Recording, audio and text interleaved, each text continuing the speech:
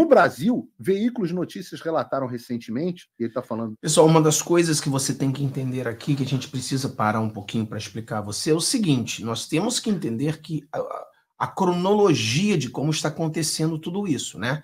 Primeiramente, nós queríamos fazer aquela manifestação, aquele comício, e não permitiram. Lembra que a esquerdalha brasileira prejudicou e nós não conseguimos fazer aquilo dentro lá do, do, do, do Planalto?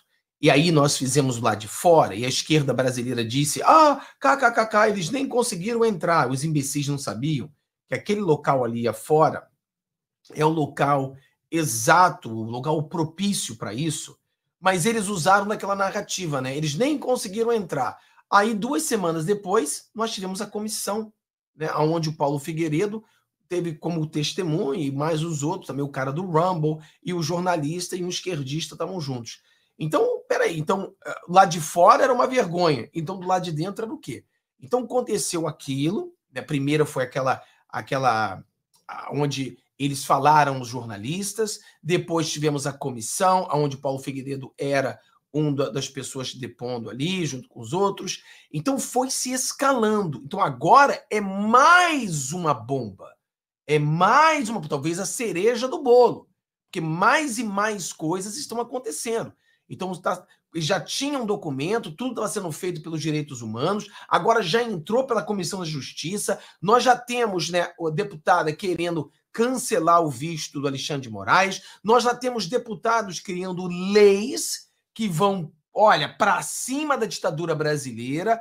Então, muitas coisas acontecendo. E agora, o Jim Jordan, que é o presidente da Comissão de Justiça, está indo para cima do FBI, dando a ele um limite. Por quê? Porque eles estão indo para cima de pessoas, intimidando as pessoas. Ou seja, isso pode ser um crime, isso pode até afetar a soberania nacional americana, né? Porque uma coisa é o FBI é, investigando pessoas de outros países, atrapalhando, etc.